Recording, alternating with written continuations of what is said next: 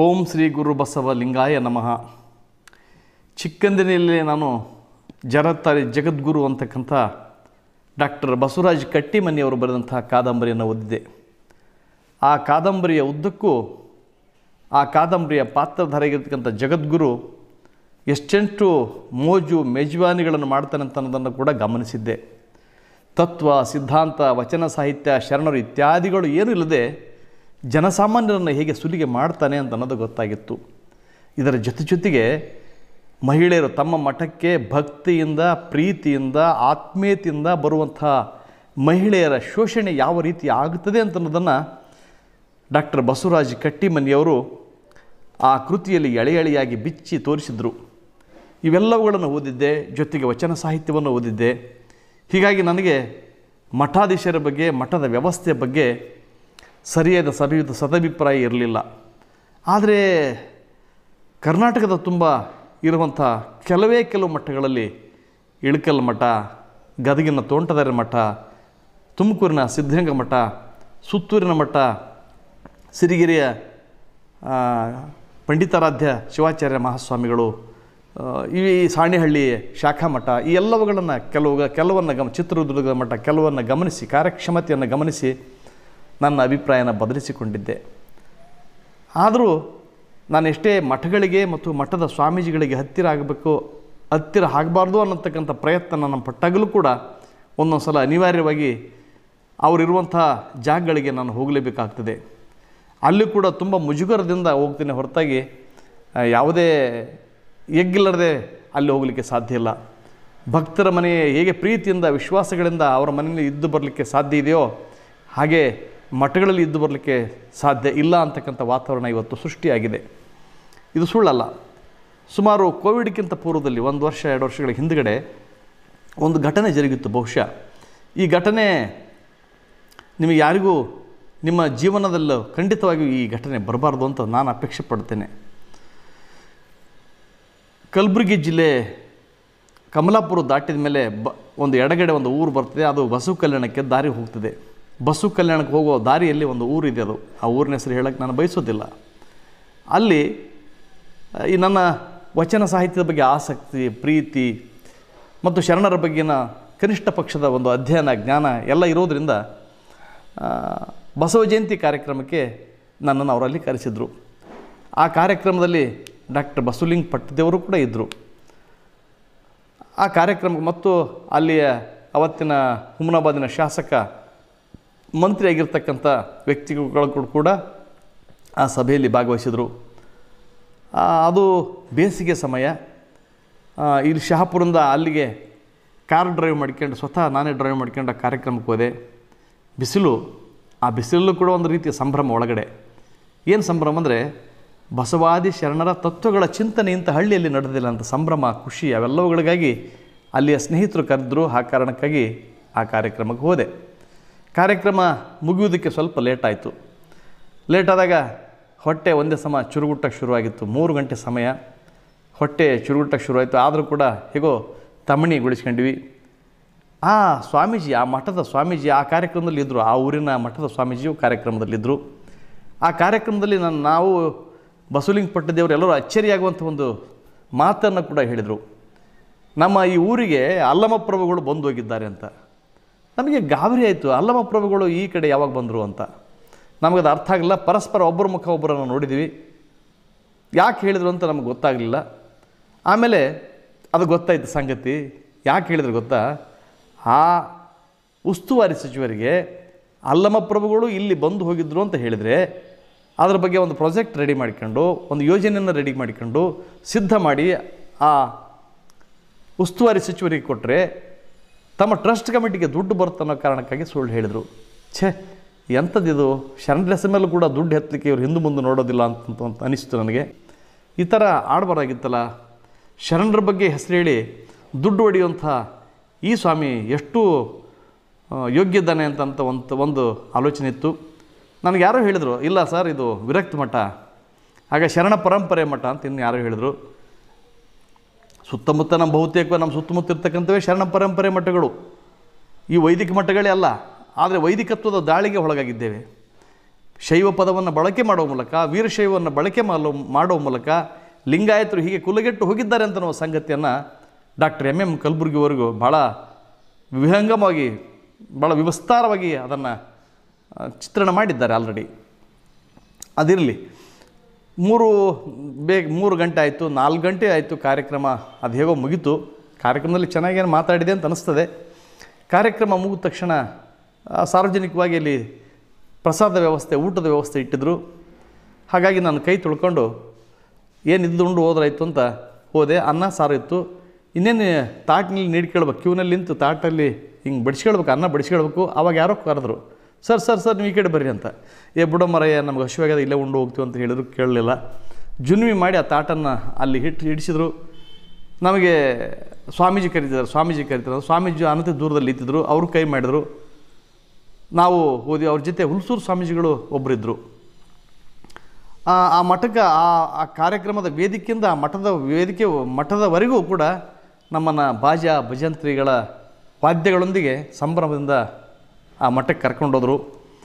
ಮಠಕ್ಕೆ ಕರ್ಕೊಂಡು ಹೋದಾಗ ಆ ಅಲ್ಲಿ ಎಂಟ್ರೆನ್ಸಿಗೆ ಒಂದು ಬಕೆಟ್ನಲ್ಲಿ ಚಂಬು ನೀರಿದ್ದು, ಆ ಸ್ವಾಮೀಜಿ ಅಂದರು, ನಮ್ಮ ಮಠದಲ್ಲಿ ಸ್ವಲ್ಪ ನೀರಿನ ಕೊರತೆ ಇದೆ ರೀ. ಈ ಕಡೆ ಈ ಥರ ಇದೇ ಥರನೇ ಇದೆ ಬೀದರ್ ಜಿಲ್ಲೆಯಲ್ಲಿ.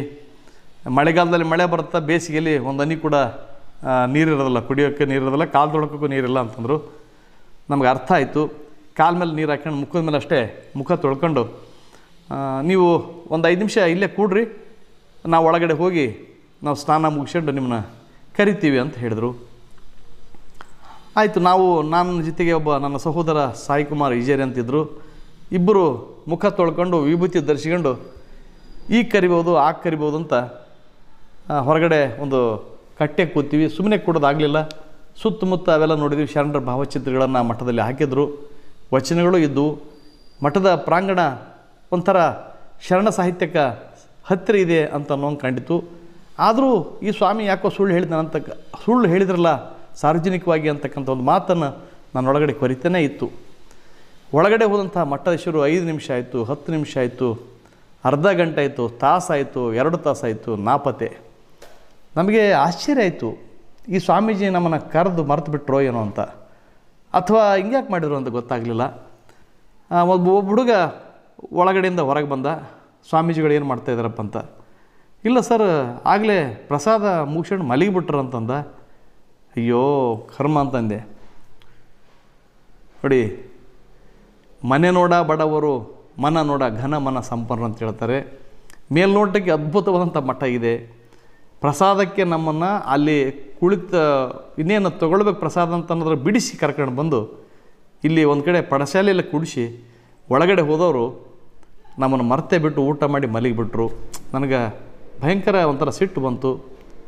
ಅದರಿಂದ ಪ್ರಯೋಜನ ಏನಿಲ್ಲ ಅಂತ ಸೀದಾ ಅಲ್ಲಿಂದ ಹೊರಗಡೆ ಬಂದ್ವಿ. ನನ್ನ ಗಾಡಿ ಡ್ರೈವ್ ಮಾಡ್ಕೊಂಡು ಬಂದು ಕಮಲಾಪುರ ಹತ್ತಿರ ಬಂದು ಒಂದು ಕಡೆ ಊಟ ಮಾಡಿದ್ದೀವಿ ಊಟ ಮಾಡಿ ನನಗೆ ಸಿಟ್ಟು ಭಯಂಕರ ನೆತ್ತಿಗೆರಕ್ಕೆ ಶುರುವಾಗಿತ್ತು. ಯಾಕಂದರೆ ಯಾರಾದರೂ ಮನೆಗೆ ಅತಿಥಿಗಳು ಬಂದಾಗ, ಏನೇ ಬಂದಿರಿ ಅದೊಳ ಬಿದ್ದಿರಿ ಅಂದರೆ ನಿಮ್ಮ ಮೈಸಿರಿ ಆರು ಹೋಗುವುದೇ ಕುಳ್ಳಿರೆಂದರೆ ನೆಲ ಕುಳಿ ಹೋದೆ ಕೊಡಲಿಲ್ಲದಿದ್ದೊಡೊಂದು, ಗುಣವಿಲ್ಲದಿದ್ದಡೆ ಕಡಹಿಮೋಗ ಕೊಯ್ಯದೆ ಮಾಣ್ಬನೆ ಕೂಡಲ ಸಂಗಮ ದೇವ ಅನ್ನುವ ಸಂಸ್ಕೃತಿ ನಮ್ಮದು ನಮ್ಮ ಮನೆಗೆ ಯಾರಿಗೆ ಹಸ್ತು ಬಂದರೂ ಕೂಡ, ನೀರಡಿಸಿ ಬಂದರೂ ಕೂಡ, ನೀರನ್ನು ಕೊಡೋದು ಮೊದಲ ಆದ್ಯ ಕರ್ತವ್ಯ, ಲಿಂಗ, ಪ್ರತಿಯೊಬ್ಬ ಲಿಂಗಾಯತನದ್ದು.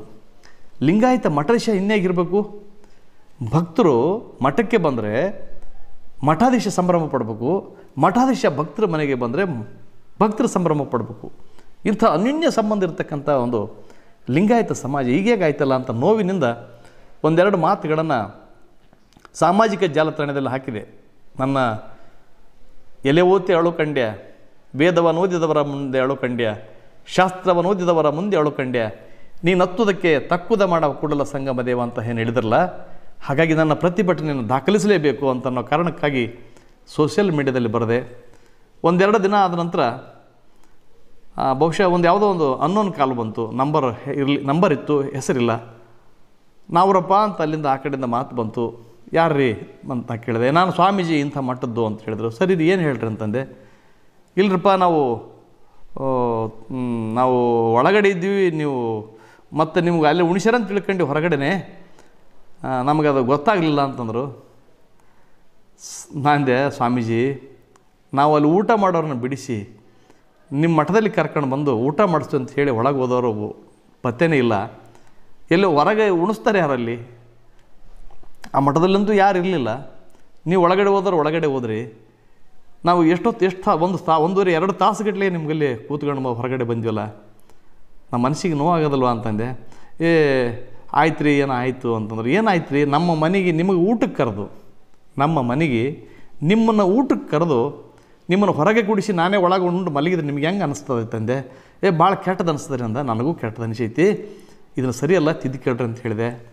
ಆ ಸ್ವಾಮಿ ಫೋನ್ ನನ್ನ ಮಾತುಗಳನ್ನ ಸ್ವೀಕರಿಸೋ ಬಿಟ್ಟು ಗೊತ್ತಿಲ್ಲ. ನನ್ನ ಫೋನನ್ನು ಕುಕ್ಕಿಬಿಟ್ಟ ಇಂಥ ಮಠಾಧೀಶರು, ಅದೇನಂತ, ಕಳ್ಳ ಭಕ್ತ, ಮೊಳ್ಳ ಪೂಜಾರಿ ಅಂತ. ಹಸಿ ದೊಡ್ಡ ಭಕ್ತರು, ಪಾಕಡ ಮಠಾಧೀಶ ಇದ್ದರೆ ಲಿಂಗಾಯತ ಸಮಾಜ ಹೇಗೆ ಬೆಳಲಿಕ್ಕೆ ಸಾಧ್ಯ? ಸ್ವಲ್ಪ ನಾವು ಆಲೋಚನೆ ಮಾಡಬೇಕು. ಗುರುವಿಗೆ ಮುಟ್ಟಿ ಗುರುವಾಗುವ ಪರಂಪರೆ ನಮ್ಮದು ನಮ್ಮ ಗುರುವಿನೇ ಹೀಗೆ ಹೊಂಬನಾಗಿದ್ದರೆ ಹುಂಬನಾಗಿದ್ದರೆ ಕನಿಷ್ಠ ಸಂವೇದನೆ ಕೂಡ ಇಲ್ಲದೆ ಇದ್ದರೆ ಇಂಥ ಗುರುವನ್ನು ತೊಗೊಂಡು ಏನು ಮಾಡಬೇಕು?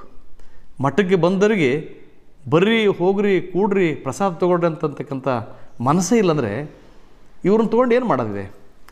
ಕನಿಷ್ಠ ಪ್ರಾಥಮಿಕ ಅರಿವು ಕೂಡ ಇಲ್ಲದ ಇಂಥ ಮಠಾಧೀಶರ ಬಗ್ಗೆ ನನಗೆ ಸಾತ್ವಿಕವಾದ ಕ್ರೋಧ ಇದೆ. ಲಿಂಗಾಯತ ಭಕ್ತರೇ, ನೀವು ಜಾಗರಾಗಬೇಕು. ನೀವು ಜಾಗರಾಗದೆ ಹೋದರೆ ನಿಮ್ಮನ್ನು ಯಾಮಾರಿಸ್ತಕ್ಕಂಥ, ನಿಮ್ಮನ್ನು ಸುಲಿತಕ್ಕಂಥ, ನಿಮ್ಮನ್ನು ಮೋಸಗೊಳಿಸ್ತಕ್ಕಂಥ, ಮಾತಿನಲ್ಲೇ ಮರುಳುಗೊಳಿಸ್ತಕ್ಕಂಥ ಮಠಾಧೀಶರ ಸಂಖ್ಯೆ ಹೆಚ್ಚು ಹೆಚ್ಚು ಹೆಚ್ಚು ಆಗ್ತಾ ಇದೆ. ಅಲ್ಲೂ ಜಾತಿಯ ಪೆಡಂಬುತ್ತ ಕಾಡ್ತಾ ಇದೆ. ಅವರವರಿಗೆ ಅವರವರು ಅಂತಕ್ಕಂಥದ್ದಿದೆ. ನೀವು ನಿಮ್ಮ ಮನೆಗೆ ಬಂದಾಗ ನೀವು ಮಲಗಿದ ಮಂಚದ ಬೆಡ್ಶೀಟ್ ಅವ್ರಿಗೆ ಇರಬಾರ್ದಂತ ಹೊಸ ಬೆಡ್ಶೀಟ್ ಹಾಸ್ತೀರಿ ಅವರಿಗೆ. ನೀವು ಉಂಡ, ಊಟನ ಅವ್ರು ಉಣಬಾರ್ದಂಥ ಹೋಳಿಗೆ, ತುಪ್ಪ, ಉಗ್ಗಿ, ಅನ್ನ, ಸಾರು ಇತ್ಯಾದಿ ಇತ್ಯಾದಿ ಇತ್ಯಾದಿ ಮಾಡಿ ಹಾಕ್ತೀರಿ. ನಿಮ್ಮ ಮಠಕ್ಕೆ ಹೋದರೆ ಕೆಲವು ಮಠಗಳಲ್ಲಿ ನೋಡಿದ್ದೀನಿ ನಾನು, ನೊಣ ನೊಣ ಹಾರಾಡ್ತಿರ್ತಾವೆ ಮೈ ಮೇಲೆ. ಹಂಗೆ ನೊಣ ಹಾರಾಡ್ಕೊಂಡು ಜನ ಉಣ್ತಿರ್ತಾರೆ. ಏನು ಎಂಥದ್ದು ಎಂಥ ದರ್ದದಿದೆ ಭಕ್ತರಿಗೆ.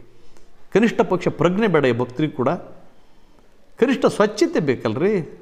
ನೀವು ಕಟ್ಟಿ ರೊಟ್ಟಿನೇ ಕೊಡ್ರಿ. ಕಾ ಬೇಳೆನೇ ಕೊಡ್ರಿ. ಹಾಂ ಹುಣಸೆ ಖಾರ ರೊಟ್ಟಿನೇ ಕೊಡ್ರಿ. ನಂದೇನು ತಕರಾರಿಲ್ಲ ಆದರೆ ಸ್ವಚ್ಛತೆ ಬೇಕಲ್ಲ? ದನದಕ್ಕಿಂತಲೂ ಆತಾತ ಭಕ್ತರನ್ನು ನೋಡ್ತಿರಲ್ಲ ನೀವು. ನೀವೆಂಥ ಬಸವಣ್ಣನನ್ನು ಹೊತ್ಕೊಂಡು ಹೋಗ್ಲಿಕ್ಕೆ ಸಾಧ್ಯ? ಶರಣರ ಚಿಂತನೆಯನ್ನು ಹೊತ್ತೊಯ್ಲಿಕ್ಕೆ ಸಾಧ್ಯ? ನೀವು ಬದಲಾಗ್ರಿ. ನೀವು ಬದಲಾಗದೆ ಹೋದರೆ ನನ್ನಂಥ ಸಹಸ್ರಾರ ಯುವಕರು ಬಸವಣ್ಣನವರ ಸಾಹಿತ್ಯನ, ವಚನ ಸಾಹಿತ್ಯನ ಓದಿ ಸಿದ್ಧಗೊಂಡಿದ್ದಾರೆ. ನಿಮ್ಮ ಬುಡಕ್ಕೆ ನಿಮ್ಮ ಬುಡಕ್ಕೆ ವಿಚಾರದ ಸ್ಫೋಟ ಇಡ್ತೀವಿ. ನಿಮ್ಮ ಬುಡಕ್ಕೆ, ನಿಮ್ಮ ವ್ಯವಸ್ಥೆಗೆ ವಿಚಾರದ ಸ್ಫೋಟ ಇಟ್ಟಾಗ ನೀವು ಛಿದ್ರಗೊಳ್ತೀರಿ. ದಯವಿಟ್ಟು ಆಗ ಮಾಡಬೇಡಿ. ನೀವು ತಿದ್ದುಕೊಳ್ಳ್ರಿ. ಸಮಾಜವನ್ನು ತಿದ್ದ್ರಿ. ನೀವು ಬರೇ ಕಾವಿ ಕಾಶಂಬರವ ಹೊತ್ತು ತಿರುಗುವ ಗಾವಿಲರ ಮುಖ ಮುಖವ ನೋಡಲಾಗದು, ಅವರ ಮಾತು ಕೇಳಲಾಗದಂಥ ಶರಣರ ಮಾತನ್ನು ನೀವು ಆಗ ಮಾಡಬೇಡ್ರಿ ಅಂತ ಹೇಳ್ತಾ ನನ್ನ ಮಾತುಗಳನ್ನು ಮುಗಿಸ್ತೇನೆ. ನಿಮ್ಮೆಲ್ಲರಿಗೂ ಶರಣು, ಶರಣಾರ್ಥಿಗಳು. ನಿಮ್ಮ ವಿಶ್ವಾರಾಧ್ಯ ಸತ್ಯಂಪೇಟೆ.